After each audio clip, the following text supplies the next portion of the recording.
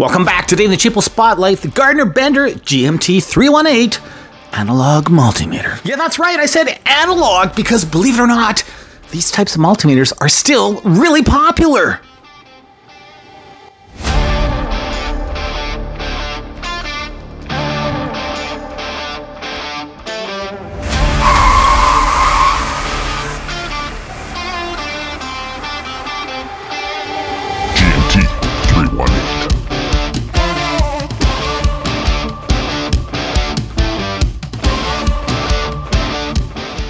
Gardner Bender, a name you've known to trust and grow with. Well, that's what they want you to think anyway. Hey, it's a name that's been around for a long time. That is definitely for sure.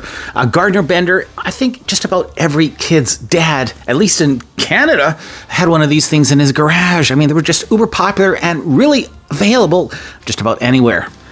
Analog meters are still popular as well, and uh, this GB is no different. In fact, in Amazon, it's got over 2,000 reviews. Uh, that is a lot for an analog meter.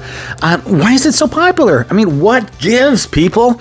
Well, let's find out. First off, you don't get nothing very uh, extravagant with this package. You get what we call the bare necessities strictly test leads and that's it. I mean, you don't even get an instruction manual. Uh, they give you a quick little lowdown on the back, but yeah, didn't even get instructs with this meter. No, it is as bare bones as bare bones can be. 14 ranges, 6 functions in total. It does at least do milliamps up to 250, so that's good. Um, yeah, I mean it, it- it's it's it's a basic basic meter. It has the battery test function, which I think a lot of people who buy this meter will probably be using the most. Now, this is definitely a bit smaller than your average style uh, analog multimeter of today, and I mean by a fair amount, literally half the size of the Pro'sKit, and uh, you know two thirds the size of the Hioki. But that being said, you know being small isn't always a bad thing. Those included test leads are tiny, but they did pass the poll test, and I mean, all things considered, they're going to be doing the bare basics anyway. And if you blow your milliamp fuse, fear not, you have easy access with the Gardner Bender. Look at that. There's your 500 milliamp, 250 volt glass fuse right there. As well, here's the well for that 1.5 volt battery. Good stuff. Another decent feature as well is we have an ETL rating Intertek certified safety. That's a good thing. Sadly and unbelievably, we have no tilt stand on the meter itself. No tilt stand, uh, no magnetic backing, nada. Don't know why they do that. Those included test leads fit snug as a bug in a rug. Look at that. Nice and secure. Tight, they're not going anywhere. By the way, another caveat to having an analog meter is the fact that if you just want to test your batteries, you don't even need to buy a battery. Nada, it will do it battery free. First, just make sure you have it in either the 1.5 or the 9 volt battery setting. In this case, it's 9 volt because we're testing a 9 volt battery right here. And to test that 9 volt battery doesn't get any easier. Have the selector switch set to the 9 volt position. Tested it with the leads, and there we are. Green means good. If it's in the middle on the question mark, throw it away. And obviously, the red, well, you replace it. So, yeah, awesome. Very simple, very functional. Same thing with the 1.5 selector. And I'll show you now what a bad battery is going to look like. And here's another battery. This is another 9 volt. And oopsies, this one is dead. Well, not dead, but it's on the way out. It's telling us to replace it, which is a good idea. So as you can see, battery testing, pretty cool little functionality of this meter. And I dare say a lot of folks picking this up will be using it exclusively for this. And it works. Amps. Doesn't do high current, but it does milliamps up to 250 milliamps. So as you can see, we're looking at that top scale here, DC milliamps, and I'm going to bring it up to about 25 milliamps, and it should end up right around there in between the 0 and the 50. So let's see what happens. Here we go. And we are fast approaching. We're at 12 milliamps, and yet it is almost center. 24 milliamps, and yes, halfway, just a little less than half, but it works. Here's a slightly better overhead shot, and you can see 24 milliamps we're sitting at, and yeah, pretty well spot on. Good job, Gardner Bender. 120 volts AC, looking good. So when you're testing resistance on your analog meter, make sure you measure your resistance, calibrate it, so to speak, before you take your actual measurement. Put the uh, setting to, here we are in times one mode. I'm going to put the test leads together, and we should have that needle come right up to zero over here. And you can see that indeed. Perfect.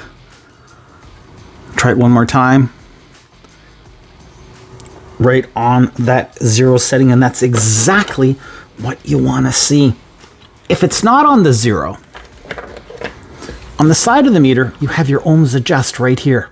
And that's what you use to actually move the needle, the needle to make sure it is set to zero when you're shorting out the leads. That's it, that's all. All right, let's take a quick resistance test. 100 ohms is what we want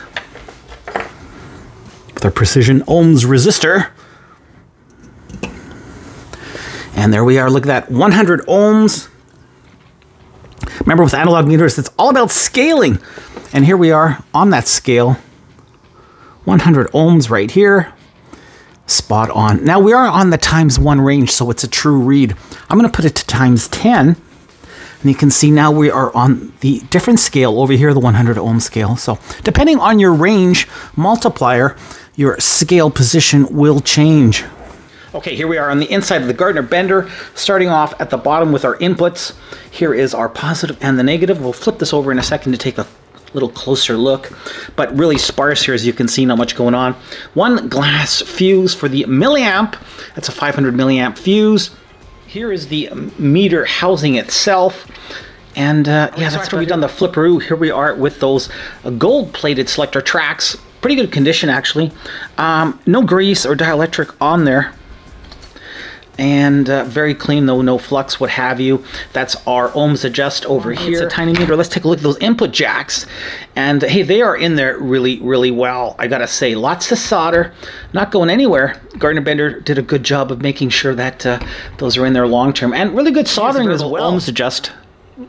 And beside it, we actually have a, a VR1 pot to uh, calibrate your voltage. So that is kind of cool.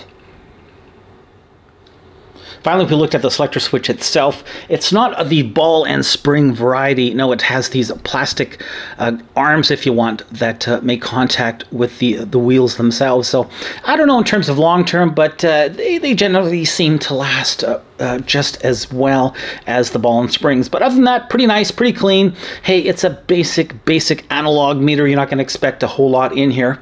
Let's put it back together, come back with my closing thoughts. Closing thoughts on the Gardner Bender GMT 318 analog cheapo. This is not a bad multimeter, let's face it, it's an analog multimeter. Doesn't do a whole lot, but then again, some people just don't need a meter to do a whole lot. Just the basics, I say voltage resistance and a little bit of current milliamps. But you know what? At the end of the day, that's all some people need. And I think this is really going to be used as a battery tester for a lot of people that are actually purchasing the meter. And it does a great job at testing batteries. Now, if all you need is something to throw in the truck or car or camper, what have you, I think this little Gardner Bender could definitely come in handy. Hey, the Gardner Bender GMT 318, the little meter that doesn't do a lot, but what it does, it does it well, relatively well. It's a solid 3.5 out of 5 stars. Hey, I was surprised with the build quality for this El Cheapo. Not bad at all. Thanks for watching this review, everybody! Till the next one, keep on testing.